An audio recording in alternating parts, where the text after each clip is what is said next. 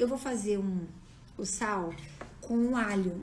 Eu vou colocar no, no liquidificador, tá? Três cabeças de alho. O tomilho, ó, eu vou tirar toda essa... Eu vou puxar, ó, e vou tirar o cabinho. Vou usar manjericão, que fica bem gostoso nesse sal também. Salsinha, que ele fica também lindo. Vou usar alecrim. Eu uso aqui, ó, sal grosso. Coloco no liquidificador. Bato ele. Eu posso usar até uma semana, né, esse salzinho. Fica um salzinho, ó, bem verde, bem aromático.